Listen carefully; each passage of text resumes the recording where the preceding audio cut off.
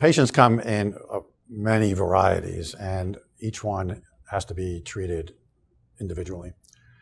Many of the people who come to me have serious problems. Even if they're not life threatening, they are associated with bad pain, difficulty with neurologic function, and it's my job to make them feel comfortable, make them feel that I can help them, try to alleviate their anxiety, try to convince them that we can help them through a difficult time in a great place where they will be taken care of. There'll be uh, their safety will be paramount, and that they can expect, in many cases, that they will have a good outcome, and hopefully that will relax them, because many times they come in quite anxious. I am Dr. Steven Barrer. I'm a neurosurgeon, and my mission at Jefferson Health is to improve lives.